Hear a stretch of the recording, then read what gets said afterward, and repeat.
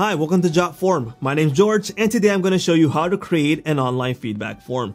Now, you might be thinking that it's super hard to create a feedback form, but not with Jotform. It's going to be super easy, and I'm going to show you in this video. So let's jump over to Jotform right now. Alright, this is our Jotform dashboard and it's super easy to create a feedback form from scratch. Now before we get started, I want to show you our template. So let's head on over to the templates and go to the section feedback forms and you're going to be able to select any one of these templates that you like. Now we can preview them and select the template. Now if you don't like how the theme looks, you can edit that later in the builder. So let's head on over to our dashboard again and let's create a brand new form from scratch. And we're going to click on start from scratch. We're going to select classic form and it's going to open up the Jotform builder. Now let's drag in the elements that we're going to need for our feedback form. And let's ask for the name, let's ask for phone number, and let's go down here to the survey elements and let's put in the input table, the star rating, a scale rating, and this is our three survey elements that we're going to use. So if we click on this element, we're going to be able to open up the options by clicking on this little gear. Now the options are on the right and we can change what the question is going to be. Now let's just say this is a hotel and we're going to ask, how was your stay, right? That's going to be a question that we're going to use. And we have the alignment right here. If we want to change those, we can set it as form default to auto change all of them. We can make it required or not for them to answer.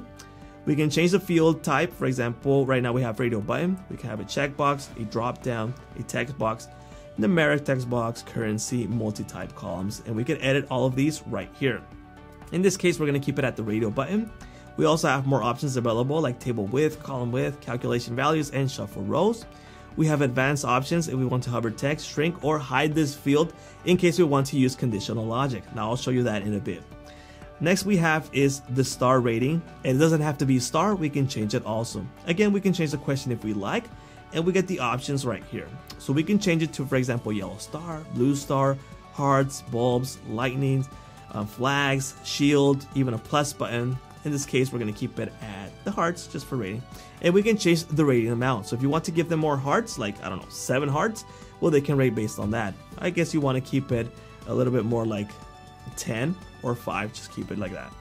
Um, let's go to the other one, which is number based. So, for example, this could be another question that could be like, How was the lobby? We can add that right there. And we're gonna add, we're gonna make it required. We're gonna change the options and we can change this. It could be worst or best. It could be like, I don't know, dirty. It could be clean. That could be the question. And we're gonna raise this to 10. So we have more room for that feedback. And at the end, we're going to add the email. The email right here. And to make this even more interesting, we're gonna add some conditional logic. So we're gonna add some long text right here. So the long text will be right there.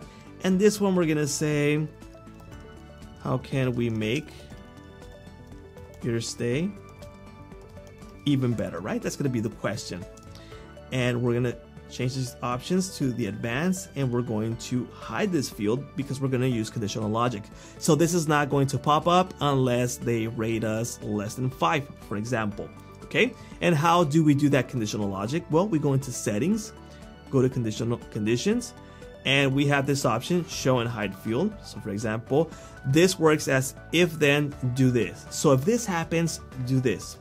So if the how can how was the lobby? We can change that right there. And it's going to be for example less than in this case it could be more and change the options if you like. So if it's less than five we're going to show no, we're going to show right there, and we're going to select the long text. So they're going to be able to write what makes it, what can make it even better, right? So if we save this, and that's going to open up the conditional logic to show the text box, the long text box. Let me show you how that works. All right, so let's go down here. Now, we didn't make any of these required, so we can skip them and just rate right here. So let's just say we rate it four it opens up this one. Did you see that? So we can ask more questions based on that. Now we can do even more things with conditional logic. Let's go back to our builder, go to conditions. We can add a brand new condition. And for example, we can change the thank you page or the landing page that it, we want them to go to a link. So we can say, we can do the same thing, right? So how was the lobby? And if they rate again less than, for example, value five, then we're gonna send them to a different thank you page. So display a custom message on submission, or we can redirect them to a different section, right? Now, something that people might do is, for example, if they rate high, you might want to send them to rate you on Google, on Facebook, or something like that, or give them a different thank you page. So in this case, we're gonna change the thank you page.